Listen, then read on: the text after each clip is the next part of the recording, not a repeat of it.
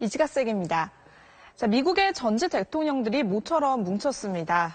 허리케인 이재민들을 돕기 위해서인데 텍사스주로 가보실까요?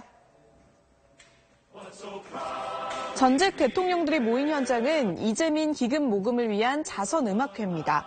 텍사스주의 한 대학에서 열렸는데 버락 오바마, 빌 클린턴, 또 조지 부시 부자, 그리고 지미 카터까지 생존해 있는 미국의 전직 대통령이 모두 참석한 겁니다. 우리의 전직 대통령들을 생각하면 참 상상하기 어려운 장면이라 그런지 부러운 마음도 듭니다.